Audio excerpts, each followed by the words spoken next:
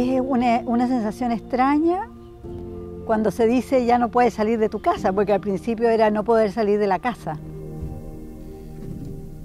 Uno mira y dice, ¿qué pasa?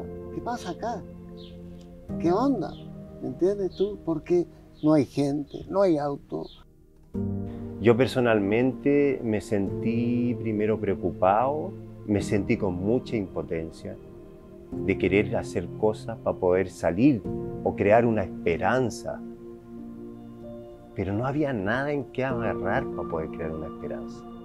Era necesario hacer un stop al mundo y, en y, y, aquí en, en Nui, porque ya veníamos en esta máquina eh, de consumo, de desconexión, de inconsciencia, eh, pero obviamente lo que más me afectaba era el sufrimiento, el sufrimiento de las personas, de las familias, las muertes, pero también una incertidumbre, miedo, una mezcla de sensaciones.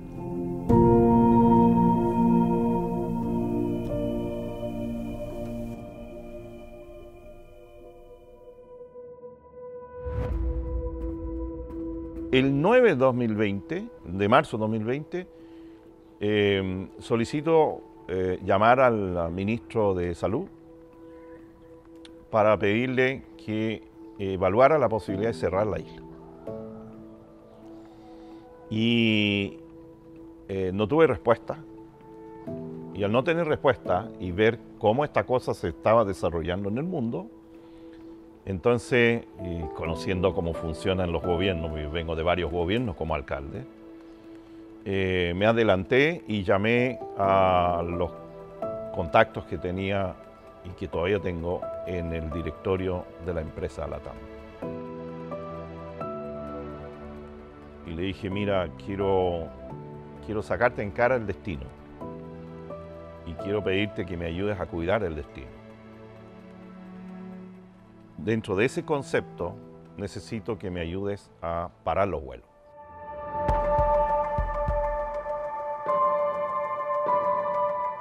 Se espantó. Pero ¿cómo se te ocurre? O sea, ni pensarlo.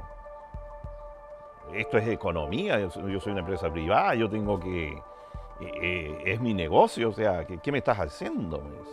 Y además te vas a dañar tú, la isla y le dije, mira, con, todo cariño y por la amistad que nos une, te quiero pedir una vez más, para los vuelos.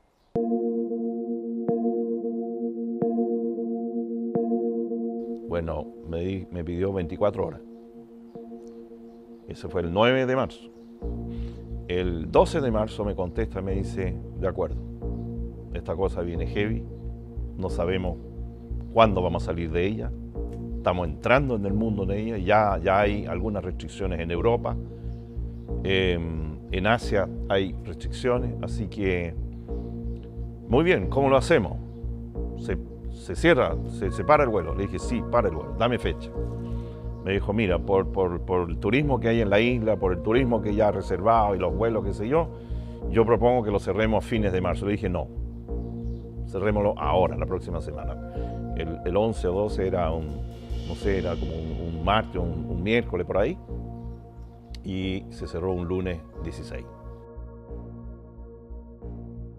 Y entonces, entre medio, encuentro mediático, telefónico, en contra del ministro Marianich, del que se, que se cree este alcaldito, o sea, es la típica prioritización de la autoridad nacional centralista a las autoridades locales. No quise entrar en, confrontaciones con él, pero sí di argumentos sólidos del por qué los polinésicos somos rápidos en protegernos cuando vemos eh, un, eh, un peligro o una amenaza que puede ser natural o causado por el hombre. Bueno, inmediatamente cuando acordé con, la línea aérea, em, salí en un programa YouTube y en, la radio y en la televisión local pidiéndole a la comunidad aplicar el TAP. Em, es lo que se me ocurrió em, levantar porque estamos en una cultura que entiende cuando digo tapo. Eh, nosotros dijimos de que íbamos a ir evaluando el tapo en la medida que el mundo y la Organización Mundial de la Salud sacara algún tipo de solución o de medida de solución, y entonces anunciaríamos cuándo podría ser eh, la apertura. E imagínate lo positivo que estábamos, decíamos que íbamos a aperturar en julio del 2020. Mira, estamos, estamos en julio del 2022, o sea, eh, así de, de optimista estábamos.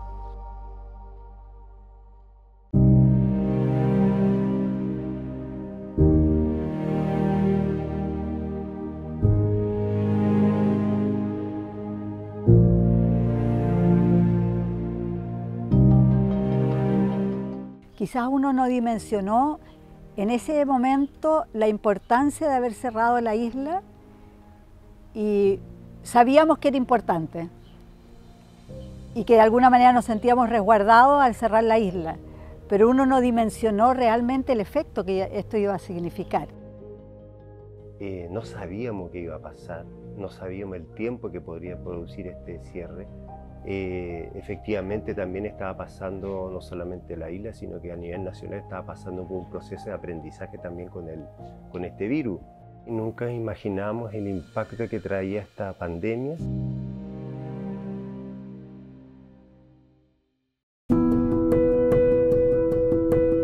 Trascendió esos 60 primeros días de, encierro, eh, convoqué a nuestro equipo de planificación, eh, convocamos a gente eh, de la isla, empresarias, no empresarios, y eh, iniciamos una, suerte de, proyección de lo, que, de lo que podemos hacer en Rapanui mientras esperamos una futura apertura. eso nos llevó, primero que todo, a pensar en la gente que perdieron los trabajos. Eh, a ver, lo primero que vino fue el miedo. Entonces la gente empezó a ir a los negocios, a comprar, a sacar todo. Recuerdo también la, la frutería donde vienen las frutas, las verduras del continente, eh, fila desde la madrugada, gigantesca.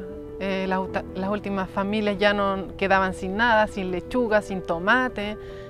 Vimos que se venía esta falta de alimentos y eh, vimos una oportunidad, una oportunidad para poder trabajar los huertos, plantar, trabajar fuertemente la autonomía y la soberanía alimentaria de Rapanui. Entonces, fueron varios enfoques.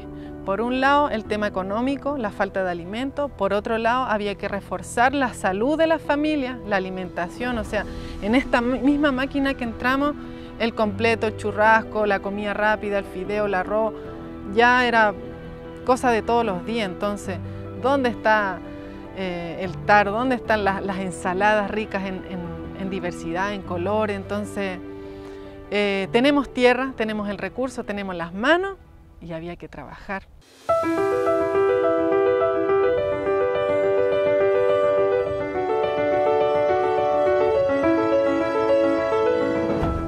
Armamos todo esto y hoy también nos encontramos en el vivero, donde fue un espacio dentro del vertedero. Nosotros en este minuto estamos en un vertedero, eh, donde se limpió, donde germinamos todas las plantas que hoy eh, actualmente se siguen plantando en todos los huertos. Se hicieron más de mil huertos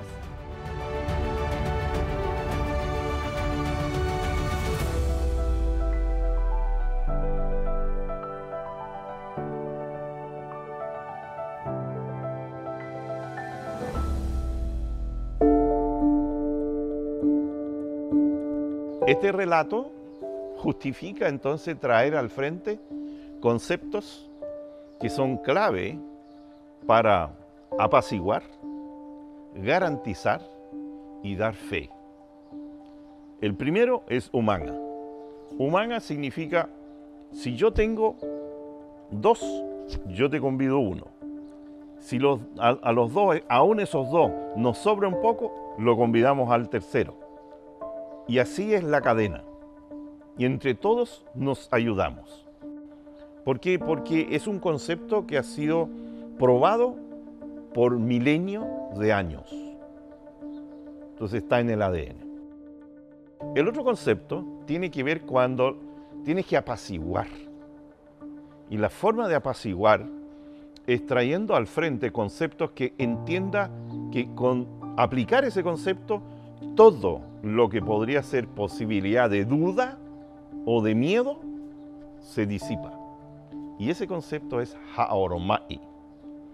Haoromai en Rapa Nui, si yo tuviera que definirlo, porque no tiene definición en castellano, pero si tuviera que definirlo lo dividiría en dos.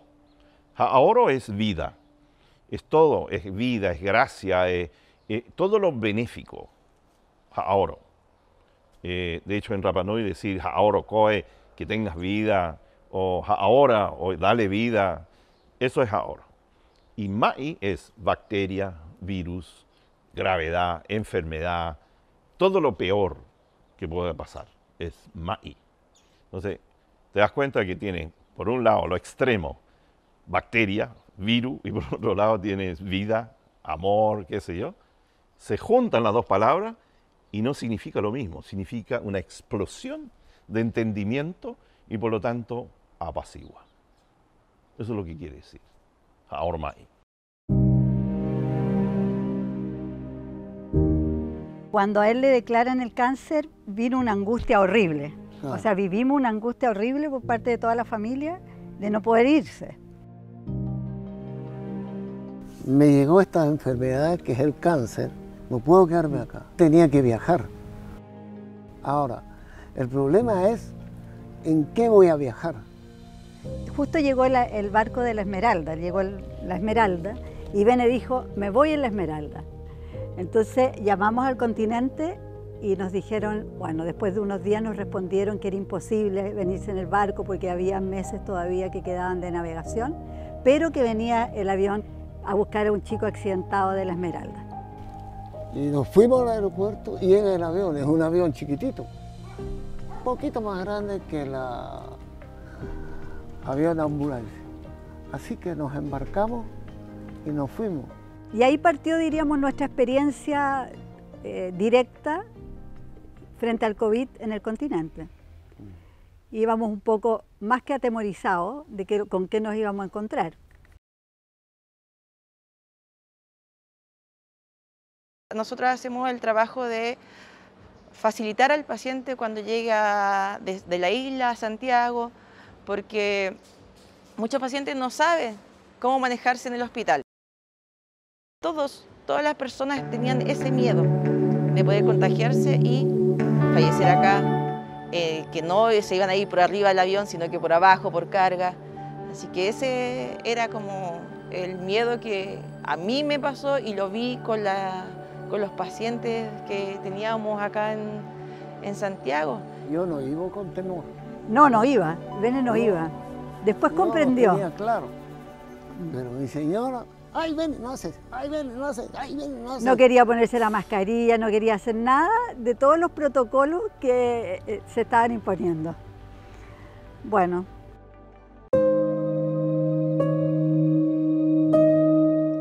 La gente que se contagió acá eh, fueron todos casi asintomáticos. Sí hubieron pacientes que se contagiaron y llegaron a la UCI y fallecieron. Pero fallecieron sí. El, el COVID el COVID ayudó a que fallecieran. Pero ellos igual fallecieron porque tenían una enfermedad de base. Una de las cosas que yo hice fue con un primo que murió y que en realidad yo fui y hablé con la persona que está viendo todo, le dije, oye, ¿puedo hacer un, ¿cómo se llama esa cuestión? Que, que te abren para una autopsia. Y la persona me dijo que no, que la única persona que podía autorizar es la señora. Le dije, pero oye, está a cinco horas la señora de, de aquí, ¿cómo es? Me dijo, bueno, la ley es la ley. primeramente me largué a llorar porque es mi primo hermano. Y yo tenía un, hermano que está ahí mismo también, que está en tratamiento. Y bueno, me largué a llorar por mi primo y cómo será por mi hermano, pero menos mal que yo no estaba ahí cuando murió mi hermano.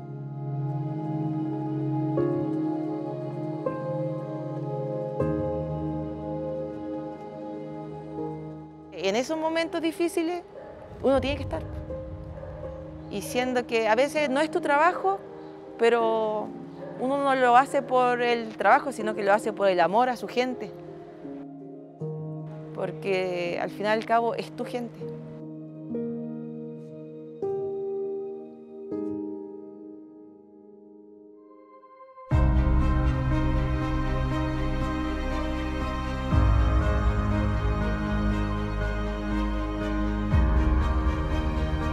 Y finalmente, para que nadie se tropiece con nadie, que el empresario no abuse del trabajador, que el trabajador no le eche la cara al empresario y que todos estemos pasivos buscando la sustentabilidad base mientras esperamos, se aplica el MOA, el respeto. Respétame, yo te respeto. El MOA, el manga, el tapu, que son palabras potentes, que es un concepto, no es una palabra, que abarca, cada palabra tiene un sentido mucho más universal, mucho más profundo, mucho más espiritual.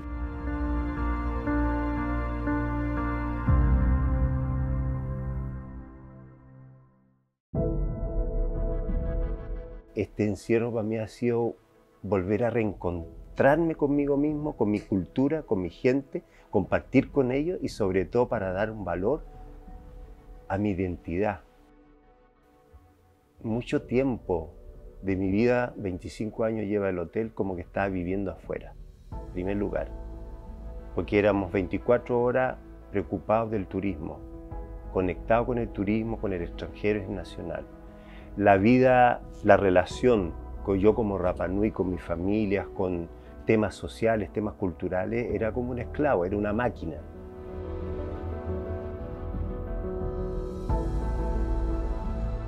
Para mí lo, lo que más me llegó en el alma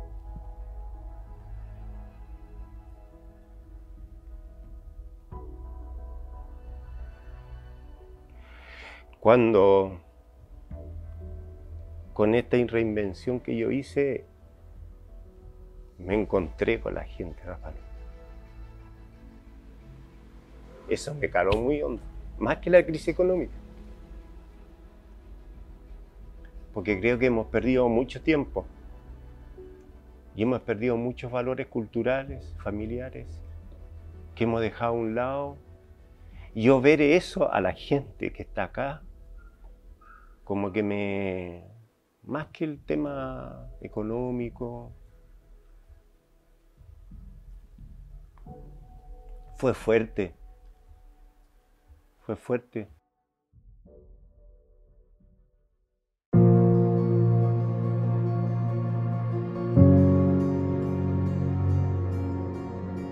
Creo que para Arapanui, eh, eh, dejando de lado todo lo duro que ha sido, también fue, fue un momento de, de mucho crecimiento, de conexión, de recordar también. Fue también un minuto donde nosotros nos conectamos como pueblo, nos conectamos con nuestros tupunas, nos conectamos con el tapu, con el moa, con el humanga. Yo creo que también hay que pensar de que esto no fue todo en vano, porque también yo aprendí con ese reencuentro. Aprendí en el sentido que tengo mucho más conciencia, que creo que el turismo de aquí para adelante va a ser distinto como veníamos trabajando. Yo quiero que sea distinto, yo quiero que sea una cosa mucho más pausado, con respeto. La reflexión es, vamos a recibir, pero quizás con un mayor control de la cantidad de gente que llega anualmente. Pero también la reflexión de cómo puedo vivir con lo mínimo. La generación de Bene vivió con lo mínimo, por lo tanto esta es la generación que menos ha sentido la falta del turismo en la isla, porque vivió una economía de subsistencia. No así las nuevas generaciones. que ha sido una enseñanza para ellos, quizás a no ver angustiados a los más viejos, porque igualmente se vivió. Y yo creo que va a ayudar a reflexionar de qué es lo mejor. ¿Qué es lo mejor? No tanto yéndose por la parte económica, que todo el mundo ha vivido en un, en un periodo de los 20 últimos años de tener, tener, tener y, y, exponer y dar evidencia que yo tengo a través de las cosas materiales, sino que también se puede vivir con menos cosas y sobre todo en comunidad, ayudándonos los unos a los otros como se ha visto en la isla.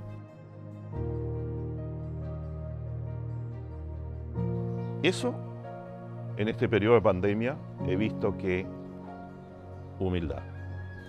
Eso es positivo. Ese es el Rapanui que queremos, donde nadie está por encima de nadie, de ninguna forma, aunque tengas más. Sé siempre humilde. Eso se vivió en la pandemia. Eso, eso para mí ya es un gran cambio. Las cosas materiales, es, evidente que hay cambios en las cosas materiales. Y es evidente que todo momento tiene que haber esos cambios. Pero a mí me interesan los cambios profundos, los cambios de la personalidad, los cambios de, de los conceptos, eh, la resiliencia, el ser capaz de rescatar nuevamente lo que nuestros ancestros legaron y que gracias a ellos ellos sobrevivieron para nosotros.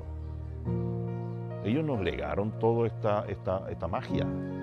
Entonces debemos estar a la altura, humildes, pero a esa altura para poder contener eso y llevarlo para nuestros hijos. Ese cambio llegó en la pandemia.